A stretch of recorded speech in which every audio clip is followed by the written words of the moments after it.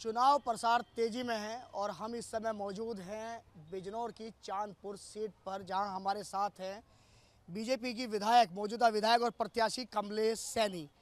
एक बार फिर चुनावी समर में आप हैं। तो क्या देखती हैं? क्या रुझान मिल रहा है? चुनाव प्रसार बहुत तेज़ी पे चुनाव प्रसार कैसे चल रहा है चुनाव क्या देखने को मिल रहा है?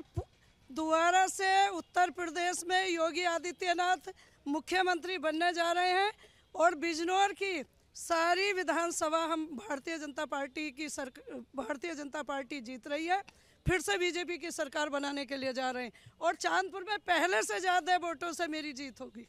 अच्छा ऐसे क्या मुद्दे हैं? ऐसा क्या काम है जो चांदपुर में रह गया हो और जो पूरा नहीं हो पाया? और अगर इस कार्यकाल में आपकी वापसी होती है तो उस कार्य कराने के लिए आप काम करेंगे। मेरा एक युवाओं के लिए स्टेडियम था उसका प्रस्ताव चला गया शुरू नहीं हुआ लेकिन बहुत जल्दी शुरू हो जाएगा। बन बन जब मैं इस बार बनूँगी तो पहली वरीयता मेरी वही वही होगी।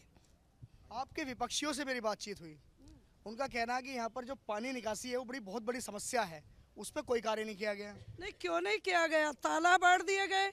तालाब बटे हुए हैं सारी सड़कें बढ़िया बन रही अभी आपने देखा कि जो हमारी सड़क है ये बाहर वाली इस पर काम लग रहा है। लेकिन मौसम खराब होने की वजह से अधूरा काम है। अब जैसे ही मौसम ठीक होगा फिर से काम उस पर लगेगा। किसे मान लिए टक्कर पे? कौन है आपके सामने? टक्कर पे कोई नहीं हूँ मैं अकेली चुनाव मैदान में हूँ। देख लीजिए आप दूसरों के यहाँ जा कर के। गठबंधन का क्या हाल है यहाँ पर? गठबंधन की बात की जाए सपा और लोकदल के गठबंधन की बात की जाए तो। मैंने पहले ही कहा है कि कोई गठबंधन नहीं है कोई कुछ नहीं है केवल यहाँ केवल और केवल भारतीय जनता पार्टी है। वहीं जो बीएसपी के कैंडिडेट हैं उनसे भी हमारी बात हुई। उनका भी ये कहना है कि हमारे सामने भी कोई नहीं है। वो जो कह रहे हैं गलत कह रहे हैं आप उनके यहाँ देख लीजिए।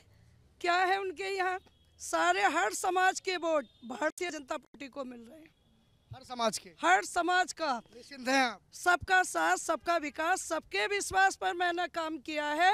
माननीय नरेंद्र मोदी जी ने काम किया माननीय योगी जी ने काम किया और उन्हीं के पचिन्हों पर चल कर मैंने काम किया।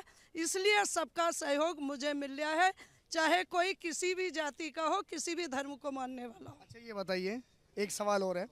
मंदिर में पूजा अर्चना की क्या मांगा भगवान से? भगवान से तो सबके लिए सुख शांति मांगी हूँ। कि सभी सुख शांति से रहे।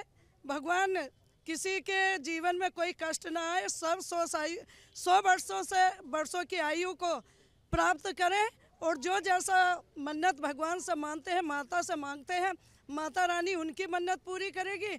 मैंने भी आज तक जो माता रानी से, अपने गुरु जी से मांगा है, मुझे भी मिला है। मेरे साथ सबका बड़ों का आशीर्वाद, युवाओं का सहयोग, माताओं, बहनों का प्यार सबका आशीर्वाद मुझे मिला है और जीत मेरी निश्चिंत होगी। अच्छा एक सवाल जीत रही है मैडम इस बार? दे रहे हैं वोट साथ दे रहे हैं हाँ जी सब साथ दे रहे हैं। पूर्ण बहुमत सरकार बन रही है पूर्ण बहुमत है। भारी मतों से जीत रही है अब की बार कोई हमारे आसपास नहीं है।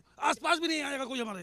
कोई बढ़िया व्यक्तित्व है कि पूरा का पूरा जन समर्थन मिला हुआ हाँ लगातार जनसंपर्क किए हुए हैं भावी मतों से विजयी रहेंगे। भारी मतों से? जी जी भावी मतों से। अच्छा आपका भी बहुत साथ है।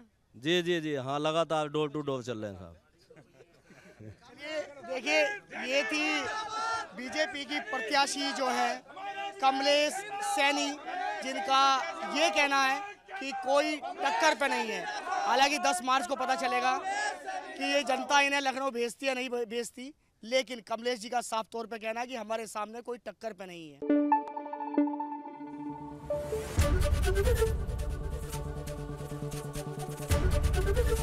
एबीपी गंगा खबर आपकी जुबा आपकी।